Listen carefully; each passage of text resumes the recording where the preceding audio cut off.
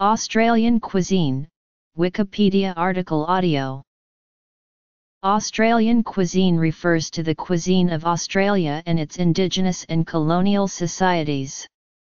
Indigenous Australians have occupied Australia for some 40,000 to 60,000 years, during which they developed a unique hunter-gatherer diet, known as bush tucker, drawn from regional Australian flora and fauna such as the kangaroo.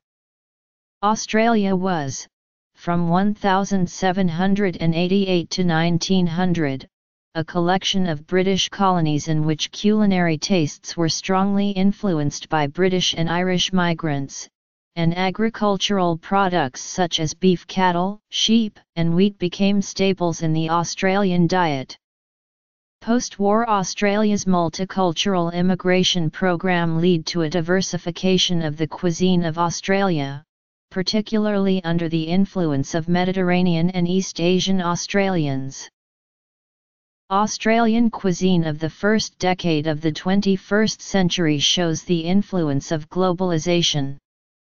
Organic and biodynamic foods have become widely available and there has been a revival of interest in bush foods.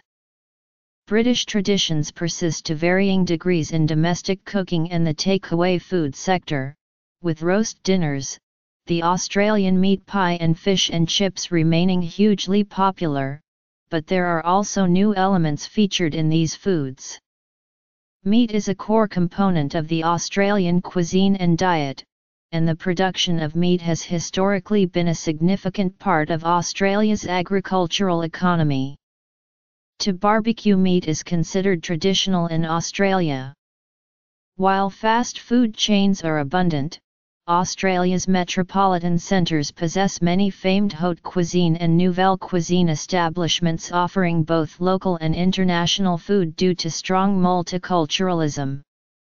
Restaurants whose product includes contemporary adaptations, interpretations, or fusions of exotic influences are frequently termed modern Australian. Indigenous Australian bush food Development of modern Australian cuisine Before the arrival of the first fleet of Europeans at Sydney in 1788, Indigenous Australians survived off the often unique native flora and fauna of the Australian bush, for between 40,000 and 60,000 years.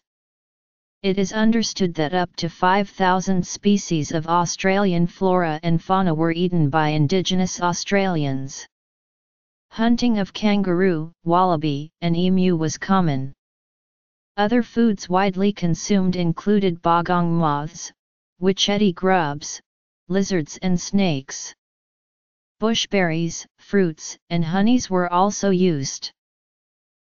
Resource availability and dietary makeup varied from region to region. Desert dwellers could be constantly on the move to find new foods, while other tribal districts allowed relatively fixed positioning. Fish were caught using technologies such as spears, hooks, and traps. Food preparation techniques also varied, however a common cooking technique was for the carcass to be thrown directly on a campfire to be roasted. Native food sources were used to supplement the colonists' diet following the arrival of the First Fleet in Botany Bay on January 18, 1788. Following the pre-colonial period, British settlers began arriving with the first fleet of British ships at Sydney Harbour in 1788. The diet consisted of bread, salted meat, and tea, with lashings of rum. The British settlers found some familiar game in Australia, such as swan, goose, pigeon, and fish, but the new settlers often had difficulty adjusting to the prospect of native fauna as a staple diet. They set about establishing agricultural industries producing more familiar Western-style produce.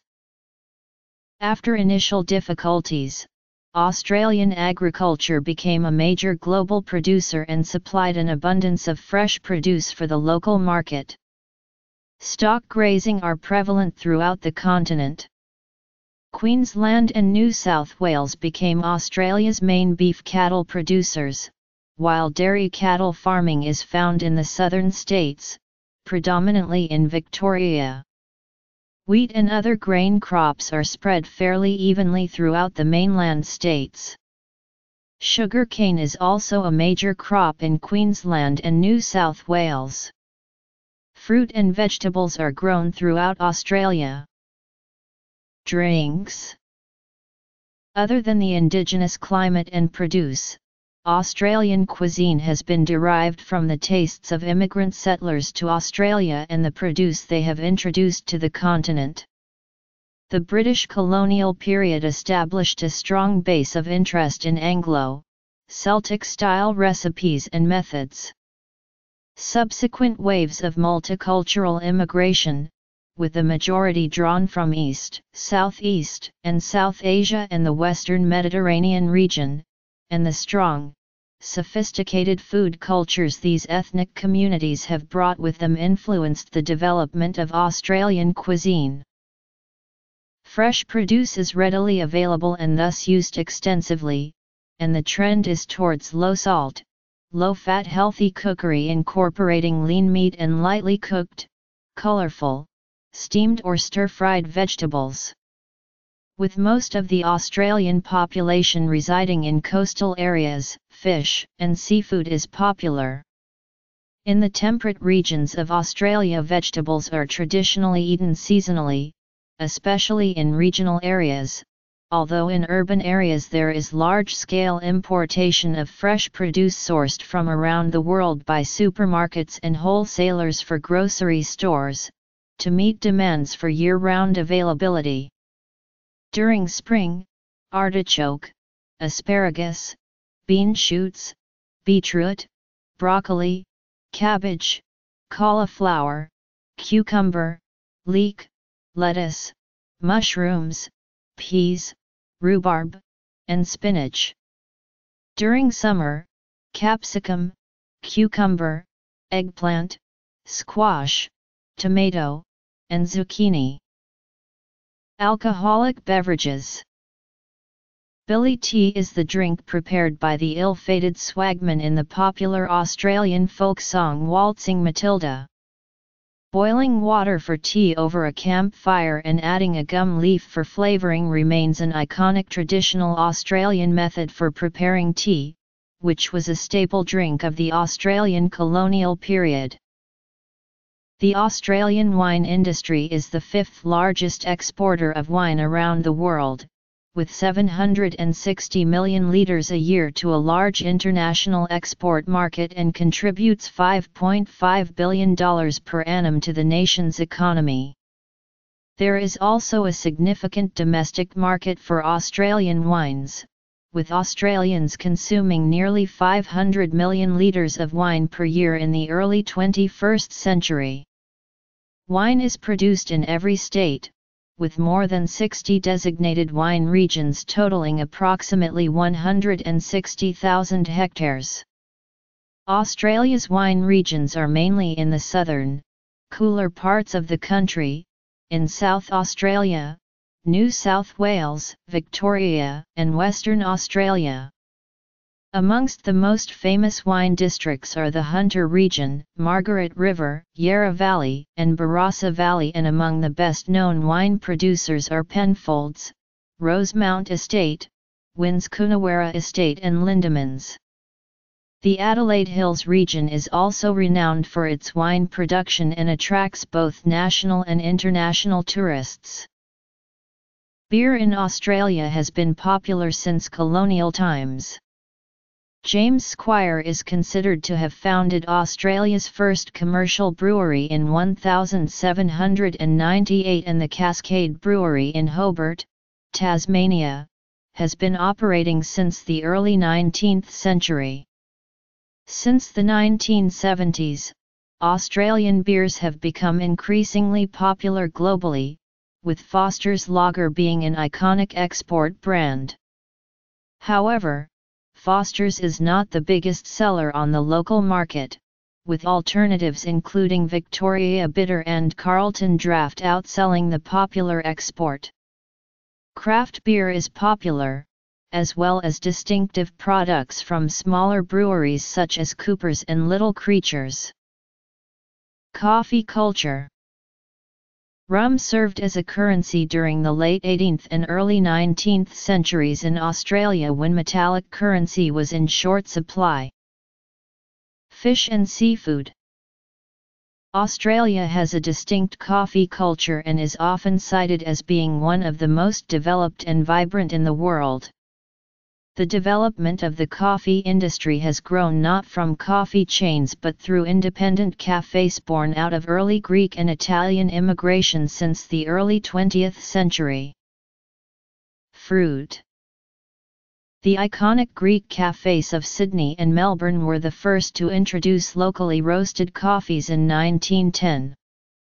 In 1952, the first espresso machines began to appear in Australia and a plethora of fine Italian coffee houses were emerging in Melbourne and Sydney. Pellegrini's Espresso Bar and Legend Cafe often lay claim to being Melbourne's first real espresso bars opening their doors in 1954 and 1956 respectively. This decade also saw the establishment of one of Australia's most iconic coffee brands, Vittoria which remains the country's largest coffee maker and distributor. The brand has existed in Australia since 1958, well before it moved to the US. The flat white was developed in Australia. The first documented appearances at Moore's Espresso Bar in 1985, where Alan Preston added it to his permanent menu.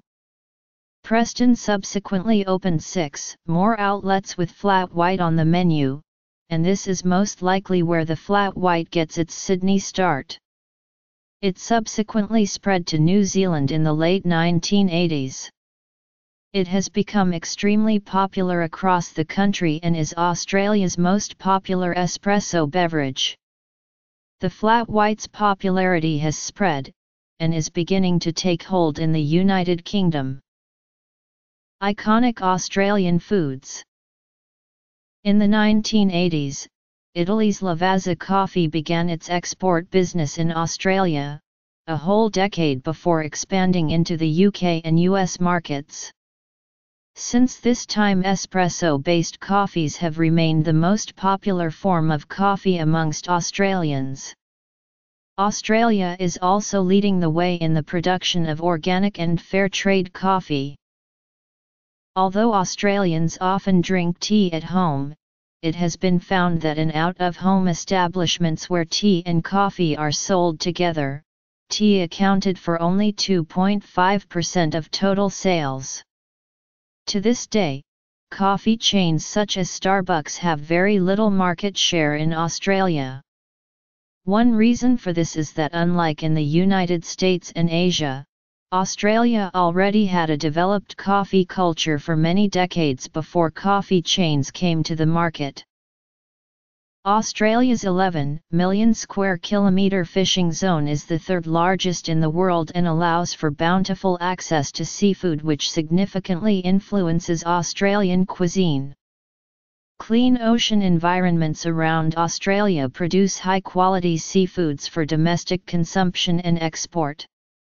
Lobster, prawn, tuna, salmon, and abalone are the main ocean species harvested commercially, while aquaculture produces more than 60 species for consumption including edible oysters, salmon, southern bluefin tuna, mussel, prawn, barramundi, yellowtail kingfish, and freshwater finfish. While inland river and lake systems are relatively sparse, they nevertheless provide some unique freshwater game fish and crustacea suitable for dining. Fishing and aquaculture constitute Australia's fifth most valuable agricultural industry after wool, beef, wheat, and dairy. Approximately 600 varieties of marine and freshwater seafood species are caught and sold in Australia for both local and overseas consumption. Australian cuisine features Australian seafood such as southern bluefin tuna, King George whiting, Moreton bay bug, mud crab, jew fish, fish, and yabby. Australia is one of the largest producers of abalone and rock lobster. Foods Fish and chips is a takeaway food that originated in the United Kingdom and remains popular in Australia. It generally consists of deep-fried fish batter with deep-fried chipped potatoes. Flathead is also popular sport and table fish found in all parts of Australia. Barramundi is a fish found in northern Australian river systems. Beverages there are many species of Australian native fruits, such as quandong, wat laced, muntries slash munthari berry, illawarra plums, riberry, native raspberries and lily pillies. These usually fall under the category of bush tucker which are used more commonly in restaurants and used in commercial preserves and pickles but are not generally well known to Australians due to low availability. Australia also has large fruit growing regions in most states for tropical fruits in the north, stone fruits and temperate fruits in the south which has a Mediterranean or temperate climate. The Granny Smith variety of apples first originated in Sydney, Australia in 1868. Another well-known Australian apple variety is the Cripps Pink, known locally and internationally as pink lady apples, which was first cultivated in 1973.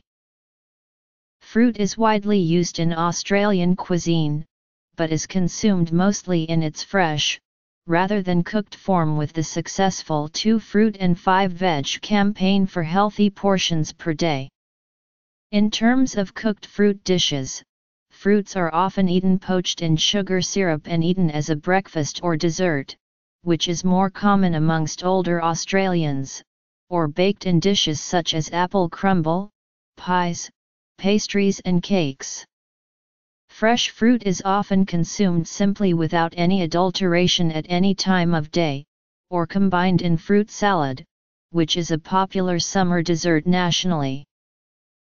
Popular and commonly available fruits produced in Australia are apples, banana, kiwi fruit, oranges and other citrus, mangoes, pears, nectarines, plums, apricots, grapes, melons, papaya, pineapple, passion fruit and berry fruits.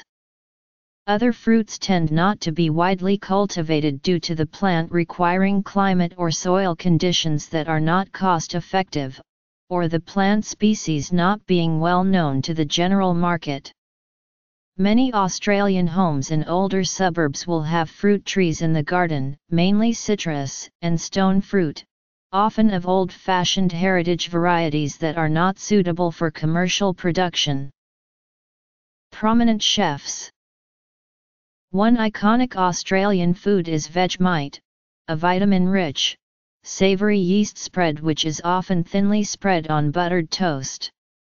Other unique or iconic national foods include macadamia nuts, violet crumble, a honeycomb chocolate bar, cherry ripe, Jaffas, chocolate with an orange-flavored confectionery shell, much like an M&M and the Chiko Roll, a deep-fried savory roll similar to a spring roll. Other popular Australian foods include Tim Tams, a chocolate biscuit, musk sticks, lemon delicious pudding, fairy bread, buttered bread with hundreds and thousands, lamingtons, and the commercial breakfast cereal Weet-Bix. Anzac biscuits and the pavlova are both iconic Australian national foods. While the oldest known named recipe for pavlova is from New Zealand, it's often said in Australian history that the dessert took its name from Anna Pavlova at the Esplanade Hotel in Perth during a tour of the state where she danced as light as air in reference to the light meringue. It has been suggested that the current pavlova is an improvement on the older recipe for a meringue cake found in a New Zealand magazine. In the pattern of foods named after famous singers and dancers, Dame Nellie Melba also has several dishes named after her, well known is Melba toast and the peach Melba, but also less well known is the chicken Melba, recipes of which can be found in Larousse Gastronomique. The meat pie is a well-known party food, often consumed by tradition on AFL Grand Final Day. Popular variants include steak, onion, potato, Indian curry, and pepper. An iconic way of serving meat pies is as a pie floater, on top of a bowl of thick pea soup. Sausage rolls are another popular takeaway item. Lamb is very popular in Australia, with roasting cuts, chops, and shanks being the most common cuts. Lamb will often form part of either a Sunday roast or a barbecue. It is also commonly found as an ingredient in doner kebabs, a dish of Turkish origin that has been popular in Australia since the 1970s. According to the OECD, FAO Agricultural Outlook for 2016, Australia consumes more sheep meat than any other Western country, and the third largest amount worldwide. Annually, Australians consume an average of 7.4 kilograms per person. By way of comparison, New Zealanders average 4.4 kilograms and Americans just 0.4 kilograms. Kangaroo meat is widely available in Australia, although it is not among the most commonly eaten meats. In old-fashioned colonial recipes, it was treated much like oxtail, and braised until tender forming a rich gravy. It is available today in various cuts and sausages. Also eaten is emu meat and crocodile meat. As these meats need specialist preparation they are not commonly found in mainstream restaurants or home cooking. Damper is a traditional Australian soda bread prepared by swagmen, drovers, and other travellers. It is a wheat flour based bread, traditionally baked in the coals of a campfire.